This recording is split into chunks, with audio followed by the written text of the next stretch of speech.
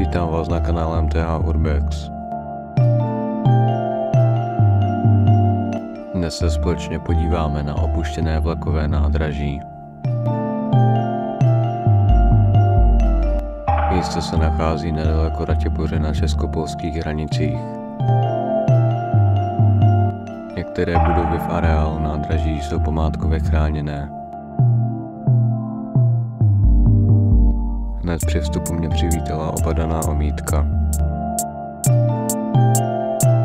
Následovaly odpadky a dokumenty. V každé budově jsou vytrhané kabely, rozpadaná stěna a vybité skleněné výplně.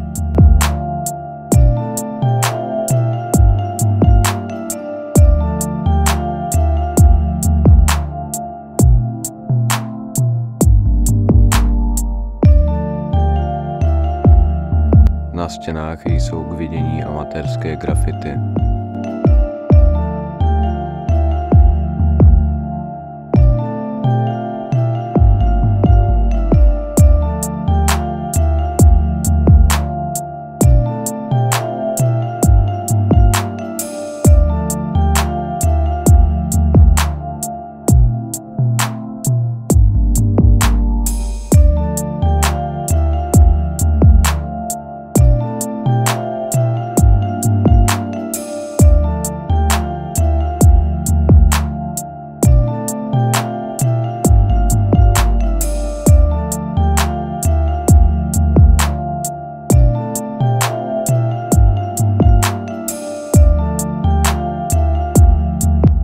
Na půdě nejspíše přebýval bezdomovec.